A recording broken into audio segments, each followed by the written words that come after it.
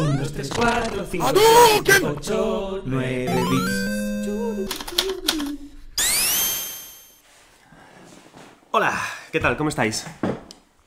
Bien, hoy voy a daros una opinión muy centrada en un videojuego, voy a hacer un análisis de el título que he estado jugando estos días, que es Death's Door. Sé que es un título que muchos estáis con ganas de jugarlo. ¿Por qué? Porque es una interesante y divertida mezcla entre un The Legend of Zelda y un Dark Souls. Es decir, lo que llamamos técnicamente los especializados en, los especializados en prensa un soulito, ¿vale? Los soulitos son maravillosos, a mí me gustan todos y en realidad son mis lugares de confort. Y por eso vengo aquí a hablaros de Death's Door. Death's Door, como os digo, es un titulito que os puede durar entre unas 8, 9, 10 horas, es un título cortito, pero es un título que, pese a ser corto, eh, lo es porque condensa muy bien su, su, experiencia. Es decir, yo me he acabado el juego y no he pensado, quiero más. He pensado, estoy satisfecho, ok, perfecto, ¿vale? Jugablemente, tiene su mejor, una de sus, mejores, de sus mejores facetas, tiene un buen dash, tiene una buena, un buen sistema, aunque sencillo, de subida de niveles.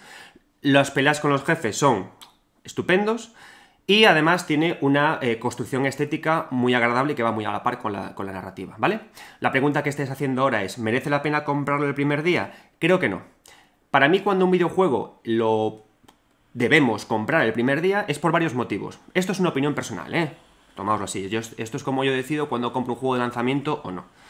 En primer lugar, pienso, es un título eh, tan importante, tan potente, que va a, tener, va a generar mucha conversación en redes, en medios ¿Es un videojuego que me va a permitir estar en la conversación?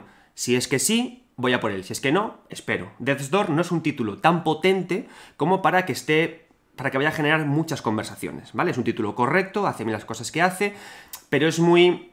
Eh, esto ya lo he visto, no está mal hecho, esto ya lo he visto, podría estar mejor, esto ya lo he visto y me lo acabé. Es decir, no es un videojuego que genere conversaciones, es un título satisfactorio, pero ya está.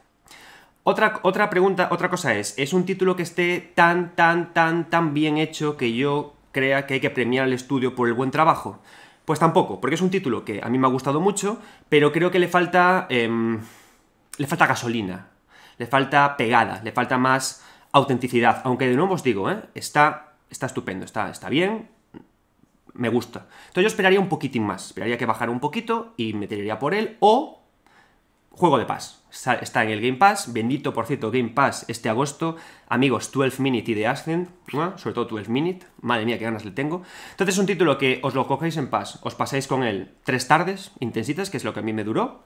Y otra cosa y os quedáis genial, ¿de acuerdo?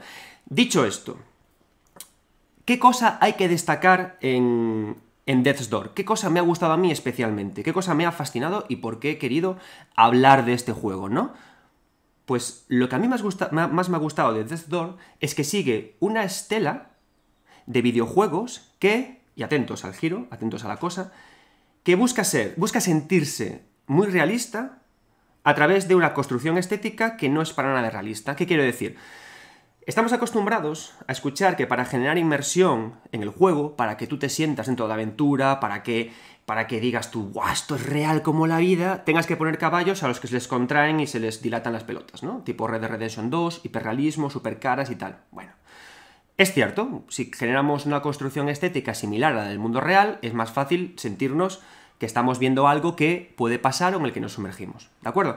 Pero hay otro tipo de construcciones estéticas que buscan conectar con nosotros de otra manera que no sea eso, ¿vale? No siempre hacen falta pelotas dilatadoras para conectar con el jugador y generar inmersión, y que funciona muy bien. Y esas son aquellas que construyen todo su mundo con elementos, con texturas, con cosas que podríamos encontrar en el mundo real.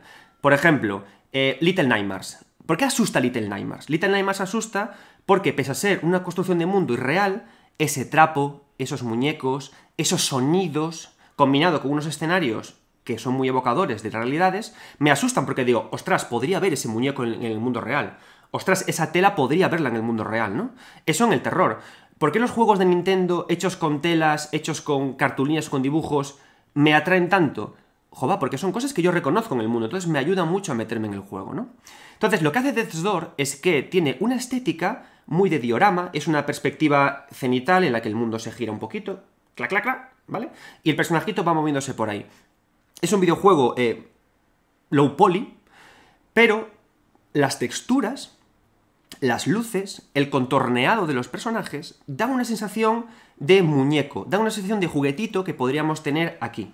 Entonces, al parecer juguetes, es fácil conectar con ellos, porque dices tú, ostras, yo este juguete lo podría tener mi hija, ¿no? Es un juguete que puede vivir en el mundo real. La gracia es que los juguetes los entendemos como objetos inanimados. ¿Y qué hacen Death Door? Death Store los anima, mueve sus ojos, y con ello genera situaciones de terror. No es que sea un juego especialmente terrorífico, pero sí que es un videojuego que sabe jugar muy bien con estas armas, con este diorama basada en muñecos low poly, con las texturas y las luces bien metidas, para que aparezca un elemento que haga un algo y digas tú, ostras. Y gracias a este ostras, poco a poco nos vamos introduciendo en su mundo de juego. Y eso es lo que hace a Death Door un título interesante. Además lo combina muy bien porque usa una forma de contar su historia que va muy poco a poco. El personaje que manejamos es un cuervo que es un segador, que va por un mundo de no muertos a cortarle almas de la gente y a cosecharlas. Con esas almas tiene que ir a un lugar central y con ese, eh, con ese poder va un personaje que le sube los stats, algo nunca visto en el género, pero bueno, por eso los llamamos soulitos, ¿no? Y y con eso consigue un mundo muy interesante. Además, encontramos información a través de gente a la que hablamos. El juego es muy hábil al ocultar las caras y, las expresiones de algunos, para que cuando llegamos a según qué personajes sí que podamos ver su expresión y nos alucinemos. Y es un título que estéticamente construye así muy bien su discurso, ¿no? Y a veces cuando hablamos de estas cosas, ¿no? En plan, ¡ay, qué cookie es Link's Awakening! ¡ay, qué cookie es Little Nightmares! ¡ay, qué cookie es! Nos olvidamos que la estética, los gráficos, la presentación, la cámara son elementos imprescindibles para construir narración, para construir relato, porque en función del estilo estético que, usemos y en función de cómo lo planteamos, las historias se cuentan de una forma o se cuentan de otra.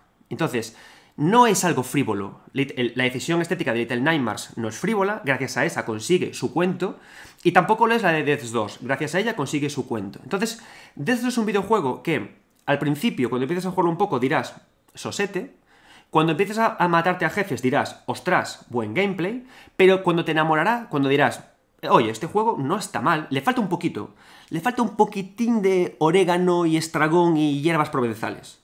Pero es un videojuego que cuando empiezas a ver a sus personajes secundarios, a ver los guiños que hace Dark Souls, a ver a cómo plantea el mismo ideas propias basadas en esta estética que van con la narrativa, dirás, ostras, qué 10 horas más bien pasadas, más bien planteadas, ¿no? Y por eso a mí me ha gustado. Además de esta forma de construir su mundo y de cómo este mundo, lo digo, ¿no? Cómo este contraste entre un muñeco es algo real, pero a la vez es algo irreal, pero si se mueve, wow, qué, qué cosita me da con esto que se consiguen sensaciones muy potentes, ¿no? estas sensaciones ambiguas que tanto nos gustan en las narrativas, que mola un montón. Además de eso tiene un gameplay muy interesante. Eh, yo para saber que un gameplay es interesante en este tipo de juegos, porque a mí los soulitos me flipan, ¿vale? Morbid, and the Acolytes, Ender Lilies, este, son títulos que a mí me gustan mucho. O sea, son títulos en los que yo estoy a gusto, los que me pongo una 1906, me tumbo y digo, mami, estoy en casa. Entonces, ¿cómo yo sé que estos juegos eh, me van a interesar o no? Lo siempre. Empiezo el juego, hago un dash, hago una esquiva, y luego un, espadazo. Y analizo el tiempo que hay, el timing que hay entre el dash y el golpe de espada. Lo guay que tiene Door es que tiene un timing un poquito exagerado entre el dash y, el espadazo. Y al principio dices, no es ágil, mm, no es Scarlet Nexus, no es agilito, ¿no? Pero luego te das cuenta de que va muy guay. Porque cuando plantean esas peleas en estos escenarios contra unos bosses muy bien diseñados y que aprovechan la idea de muñeco para romperse y para ser muy chulos a nivel de diorama, em, lo que consigues es que cada, vez que haces un dash puedas tomarte un segundo para plantearte tu posición en la escena. Y esto Death Door lo usa muy hábilmente para poder hacer batallas contra múltiples enemigos que gracias a este impasse que hay entre el dash y el ataque te permite decir, vale, ¿dónde estoy? Me muevo para aquí y te golpeo. Y es un tiempo que respetan los enemigos sin parecer imbéciles tipo Musou. ¿Vale? Entonces, ya os digo, es un juego que tiene a nivel jugable nada novedoso, pero es fino, y a nivel estético no tiene nada novedoso, pero sabe muy bien lo que hace. Es un juego consciente de sus virtudes, ¿de acuerdo? Entonces yo recomiendo que cuando esté un poquito más bajito, o si tenéis el pass, le echéis un vistazo y que os fijéis en estas cosas que os he contado. No quiero ir más allá porque no quiero haceros spoilers, ¿vale? Bien, y como sé que para vosotros las notas son importantes, ¿vale? Vamos a ver qué nota le damos en la escala Peppa Pig, ¿vale? Sabemos que en la escala Peppa Pig, no hay ninguna duda, el 10, lo absoluto es Peppa Pig en tren es absoluto que esto es así porque es Peppa Pig montada en un tren y esto es insuperable. Y sabemos que lo más bajo de la escala Peppa Pig es Candy Cat. No nos cae muy bien Candy Cat. Así que sin ningún lugar a dudas, he de decir que Death's Door es una sushi ship, pero con vestido de invierno. No tengo ninguna duda.